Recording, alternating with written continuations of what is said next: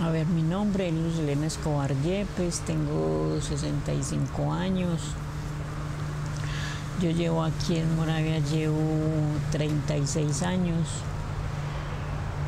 Y pues a mí me gustan los animales, ¿en qué sentido? Porque uno, uno con los animales, uno tiene por ejemplo las gallinas, pues le dan a uno la carne, los huevitos, y en, momentos de que uno necesita eso, no. Y del animal, el animal que pues a mí me han, me han dicho que me habían contado que los patos libran a uno de muchas cosas, o sea, agüeros o verdad, pero eh, por ejemplo en la pandemia, a mí aquí no, no llegó la pandemia. Si llegó, llegó muy suave, pero, pero a mí me dijeron que era por los patos, porque los patos ah, acaparan todo lo que llega malo a la casa, lo mismo los pajaritos también. Entonces a mí me gustan las gallinas, los patos, los pajaritos, los conejos. El conejo que tenía la mano pasada se me lo robaron. Y la canción, el color mío favorito es el rojo.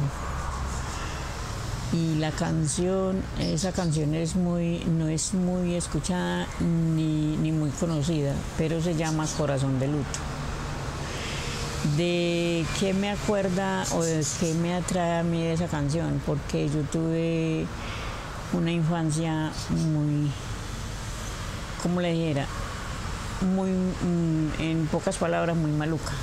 Entonces a mí esa canción me recuerda todo lo que yo viví. En este momento yo no, pues, no sé, no, no sé en qué ni la sé cantar, pero sí el título es Corazón de Luto y es muy hermoso. Y me recuerda a mí la historia de una infancia que tuve como a los nueve años. Y fue muy duro para mí. Entonces, a mí ella me fascina, fuera de que también hay muchas que me gustan, pero a mí esa canción es la que más me atrae, la, más me llama la atención a mí me gustan todas las boscas. Esa es la que más se canta ahí. Como las hermanitas calles, el de Revelación, que también ha venido, el de. Eh, en este momento se me olvidaron, pero sí, todo lo que es Huascas, a mí me fascina todo eso. ¿Y en qué lugar pasó usted la infancia? Yo pasé la infancia en Cañas Gordas. O sea, yo soy de allá. En ese entonces convivíamos con, con cerdos, lo más era cerdos. Y también hubo un tiempo, después de que ya tuve esposo y mis hijos, me tocó en una finca muy buena, donde habían 70 reses que a mí me tocaba ordeñar. Nos levantamos a las 3 de la mañana a ordeñar y a despachar la leche porque teníamos que hacer quesitos, mantequilla, que, para la gente que llegaba por la leche porque eso era una lechería. En, en ese entonces sí yo vivía muy bueno porque era pues era en la finca de mi suegro y era muy grande y él tenía mucho ganado, había bestias, habían mulas, era una finca brutal donde allá eran, ellos eran seis hermanos, pero los seis hermanos con el papá no trabajaban en ninguna parte, sino dentro de la misma casa, porque de la misma casa se sacaba lo que era el tomate de aliño, el tomate de árbol, la maracuyá, la mandarina, la naranja, el mango, los aguacates, el madroño, no sé si usted conocerá el madroño, es una frutica así como carrasposa, pero es muy rica esa ya. El limón, el maíz, el frijol, todo eso se sacaba de allá, la caña, la yuca, la panela y la leche. Porque eso, a ver, hay una pastillita que le dicen cuajada, ¿cierto? Entonces esa pastillita se le echa a la leche, la leche se cuaja y uno espera cuando ya la leche toda está cuajada, entonces uno saca la leche, deja el suero ahí. No el suero, no es suero costeño, es suero normal. y, escurre eso, lo muele y, y hace las bolitas de queso. Aquí en la casa tengo las gallinas y los patos. A mí me dijo una abuelita que lo que eran los pajaritos porque nosotros, yo tenía, la otra vez yo tenía como 20 periquitos de esos.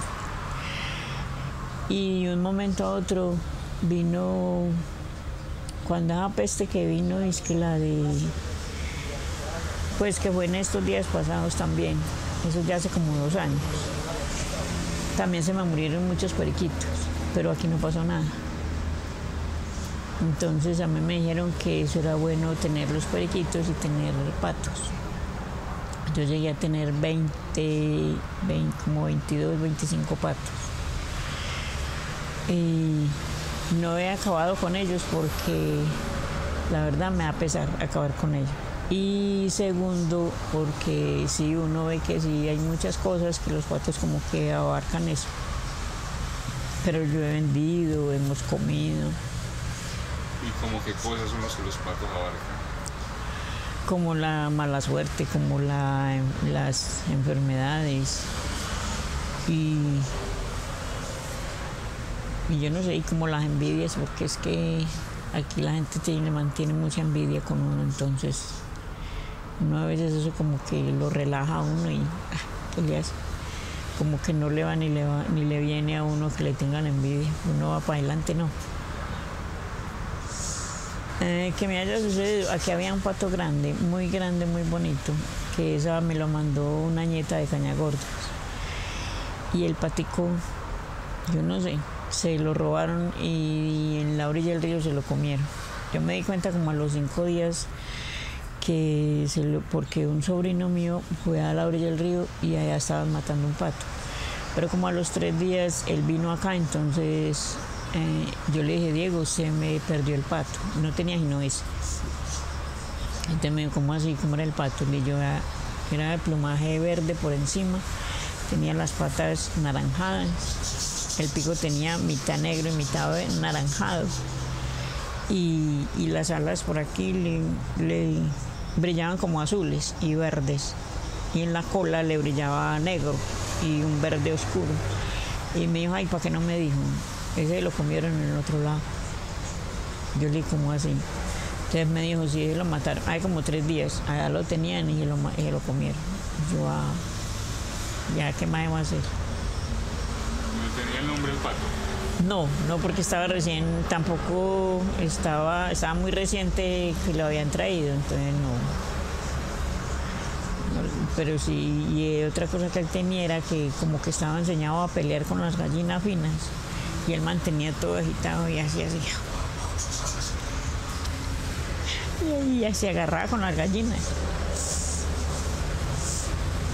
¿Y usted de pronto sabe alguna historia, al- algo para lo que utilicen el pato, algún remedio, una parte del pato, que pueda alguna medicina con el pato, algún agüero que le tengan o alguna manera de preparar? a ver, mm, yo no sé, el pato tiene unas feromonas que son es que para el pelo, que son muy buenas para el pelo. De que yo sepa en realidad, no sé, no sé, pero sí dicen que el pato, las feromonas del pato sirven para el cabello. A ver, yo con los, con los peces he soñado de que estoy, digamos, caminando en un lago, un lago azul, y los peces vuelan y yo los pesco. Y yo soy matada cogiendo los pececitos, pero ya. No más. ¿Y, y cuántos patos tiene actualmente aquí? Hay seis. ¿Y qué comen esos patos? Maíz, sobrados, lo que usted les eche. Si usted les echa yuca, les echa caña, les echa arepa, les echa maíz, les echa arroz, ellos comen todo eso. ¿Y cómo se prepara un pato? Para alguien que no sepa. Pues como se lo quiera preparar, a la naranja, a- con coco, eh, normal. Y sabe, bueno, la carne es, es roja como si fuera carne de res. Pero es muy gustoso. ¿Y cómo lo prepara usted? ¿Cómo lo. A ver, nosotros aquí lo hemos hecho con, con naranja, Y también una vez hicimos uno con coco. Le echamos coco, le echamos Coca-Cola, le echamos cerveza, le echamos mm, una copita de vino. Y eso quedó delicioso. Claro que primero hay que, hay que pitarlo, porque él es más bien durito. Entonces se pita y después se organiza en la olla. Que se lo vaya a organizar ahí. No, yo lo mato como una gallina. Normal. Que es más durita, sí.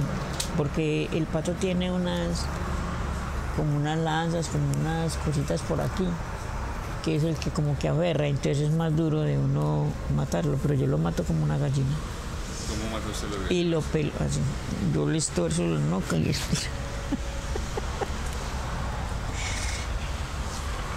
y se despluma normal, en agua caliente normal. Mm, Yo tenía, en entonces tenía 35 años.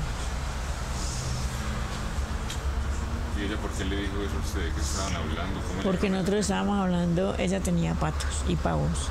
Y entonces estábamos hablando de eso, de los patos, los pavos, el gallineto. El gallineto también es que también le traía a uno buena suerte tenerlo en la casa. Y el gallineto, cuando llega gente forastera, el gallineto hace bulla y es muy bulloso.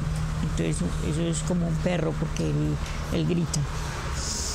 Entonces estábamos hablando, entonces llegamos hasta ahí a esa conversación de que los patos eran buenos tenerlo en la casa, los pájaros. Era bueno.